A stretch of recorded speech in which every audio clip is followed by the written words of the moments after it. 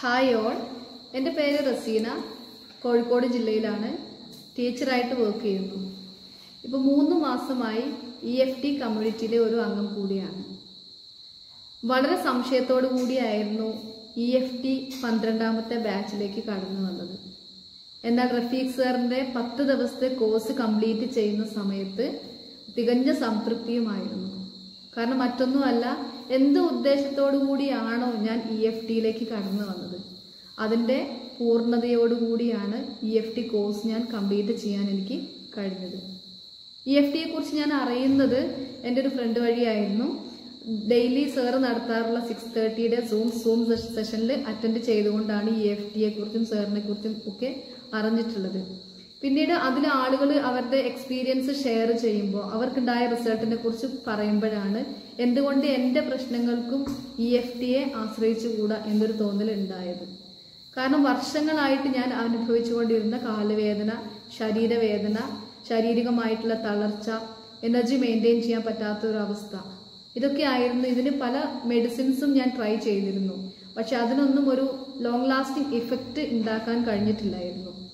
ആ സമയത്താണ് ഈ ഒരു ക്ലാസ് കേട്ട സമയത്ത് എനിക്ക് എന്തുകൊണ്ട് ഇത് ഒന്ന് പരീക്ഷിച്ചുകൂടാ എന്നുള്ളൊരു തോന്നലുണ്ടായി. അങ്ങനെയാണ് ഞാൻ E F T course select ചെയ്തതും. ആ ഒരു ആ ഒരു തെറാപ്പി ശരിക്കും തെറാപ്പിയാണ് അതിൽ. ഇ എഫ് ടി ടെക്നിക് ഈ ഇമോഷണൽ ഫ്രീഡം ടെക്നിക്കാണ് ഒരു ടെക്നിക്ക് തന്നെയാണ് റഫീഖ് സാർ അതിൽ യൂസ് ചെയ്യുന്നത്. ഇതുവരെ എവിടെയും കേട്ടിട്ടില്ലാത്ത ഇതുവരെ ആരും പറഞ്ഞു കേട്ടിട്ടില്ലാത്ത ഒരു ടെക്നിക്ക് കാരണം ഈ ഒരു ടെക്നിക്കിലൂടെയാണ് ഞാൻ ആ അനുഭവിച്ചുകൊണ്ടിരുന്ന ആ ഒരു വേദന പ്രയാസങ്ങൾ ആ ഒരു എനർജി മെയിന്റെയിൻ ചെയ്യാൻ പറ്റാത്ത ഒരു അവസ്ഥ എനിക്ക് പരിഹരിക്കാൻ കഴിഞ്ഞത്.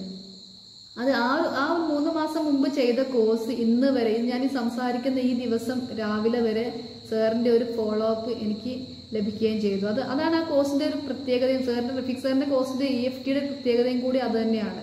സാധാരണ നമ്മൾ എന്ത് കോഴ്സ് ചെയ്യുമ്പോഴും ആ കോഴ്സിന്റെ കാലഘട്ടം കഴിഞ്ഞാൽ ആ കാലാവധി കഴിഞ്ഞാൽ ഡ്യൂറേഷൻ കഴിഞ്ഞാൽ പിന്നെ അതിന്റെ ഒരു ഫോളോ അപ്പ് ഉണ്ടാവില്ല. പക്ഷെ ഇവിടെ അങ്ങനെയല്ല.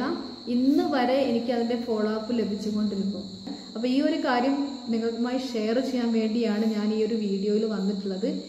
എനിക്കുണ്ടായ അനുഭവം എന്റെ മാറ്റം അതാണ് ഞാനിവിടെ പറയുന്നത്. അതേപോലെ നിങ്ങൾക്കും നിങ്ങളുടെ ലൈഫിൽ എന്തെങ്കിലും തരത്തിലുള്ള ഒരു പ്രശ്നം അനുഭവിക്കുന്നുണ്ടെങ്കിൽ തീർച്ചയായും അതിനുള്ള പരിഹാരം ഇ എഫ് ടിയിലുണ്ട്. തീർച്ചയായും നിങ്ങൾക്ക് ഈ കോഴ്സിലേക്ക് കടന്നു വരാം. ഞാൻ ഗ്യാരണ്ടിയാണ്. Okay thank you all